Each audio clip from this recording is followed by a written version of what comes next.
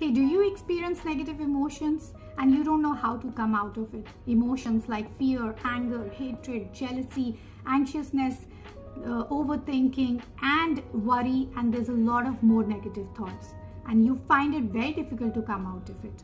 So, I'm a psychologist. Here is a great trick, and that will help you out. When you are into the chain of negative thoughts, which is revolving around into your head, the easy thing that you need to do or to stop that thinking pattern is to inhale nicely and hold on to your breath for as long as possible. So, when we hold our breath for as long as possible time, that will help break the chain of thoughts.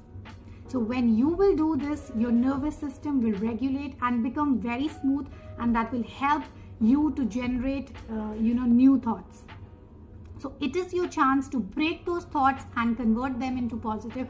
Try to introduce some positive statements or make some uh, positive affirmations. Just speak out loudly some positive affirmations at that point of time so this way by holding on to your breath for uh, as long as possible time and 5 to 6 round of it you will see a huge change. And instantly your negative uh, you know cycle will be break and you will come out of your negative thoughts. So for more follow me and share it across with your family and friends. Thank you all for watching